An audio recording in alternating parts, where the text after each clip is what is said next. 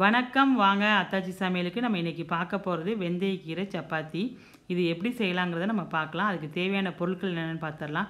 நான் ஒரு கட்டு வெந்தயக்கீரையை வாங்கி நைஸாக கழுவி நைஸாக கட் பண்ணி வச்சுருக்கேன். இப்போ கோதுமை மாவில் ஒரு கிலோ கோதுமை மாவு எடுத்து வச்சுருக்கேன். அதுக்கு தேவையான அளவு உப்பை நம்ம சேர்த்துடலாம். சேர்த்துட்டு ஜீரகம் சின்ன ஸ்பூனில் ரெண்டு ஸ்பூன் ஜீரகமும் ரெண்டு ஸ்பூன் மிளகும் சேர்த்து நம்ம நைஸாக பவுட்ரு பண்ணிக்கலாம். ஏன்னா இந்த சப்பாத்தியோட செரிமானத்துக்கும் நல்ல வாசனையும் கொடுக்கும் இது. அதனால் நம்ம இந்த சேர்த்துக்கலாம். நைஸாக அடிச்சுக்கலாம். இது வெந்தயக்கீரை சப்பாத்தி. சுகர் பேஷண்ட்னு கிடையாது. குழந்தைங்கள்லேருந்து எல்லாருமே நல்லது. ச நம்ம ச இதில் வந்து கசப்பு தன்மையும் இருக்காது. அதனால் சாப்பிட்றதுக்கு நல்லாயிருக்கும். ச மாவோடு சேரும்போது கசப்பு சுத்தமாகவே இருக்காது.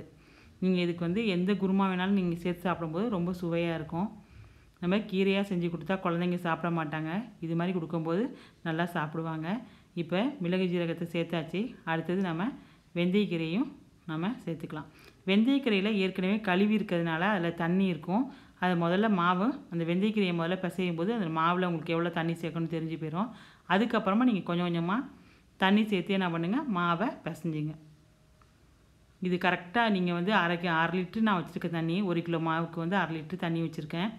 அதில் இப்போ கீரையோட தண்ணி இருக்கிறதுனால நமக்கு கொஞ்சம் தண்ணி மிச்சப்படும். இப்போ நம்ம மாவில் பிசையலாம்.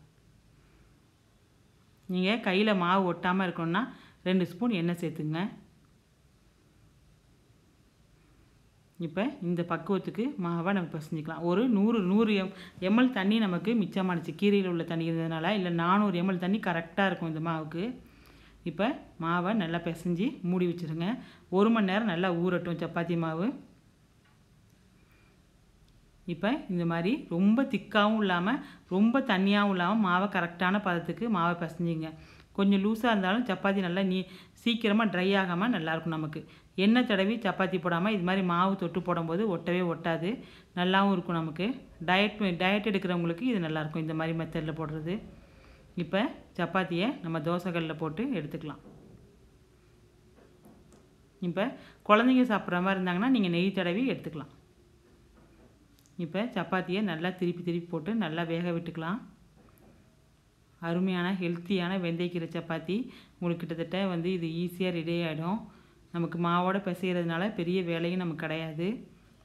அடிக்கடி நம்ம வாங்கி சேர்த்துக்கலாம். வீட்லேயே நம்ம வெந்தயக்கீரையை தெளித்து விட்டாலே நல்லா வந்துடும் நம்ம இது மாதிரி அடிக்கடி வாரத்தில் ரெண்டு நாள் மூணு நாள் சேர்த்து சாப்பிடும்போது நமக்கு நல்லா குளிர்ச்சி உடம்புக்கும் நல்லா குளிர்ச்சியை கொடுக்கும். அதுவும் இல்லாமல் சுகர் பேஷண்ட்டு இது மாதிரி இருக்கவங்களுக்கு நல்லா இருக்கும். இந்த இது வந்து சுகரை குறைக்கிறதுக்கு நல்ல உதவியாகவும் இருக்கும். இப்போ நல்லா வெந்தயக்கீரையை சப்பாத்தியை நல்லா பரட்டி பரட்டி இது மாதிரி கையால் நீங்கள் இது பண்ணி எடுத்துங்க. அப்படி கை சுடுன்னு நினச்சிங்கன்னா இது மாதிரி தோசை திருப்பி எடுத்து எடுத்துங்க. இப்போ சப்பாத்தியை போட்டு நம்ம எடுத்துக்கலாம்.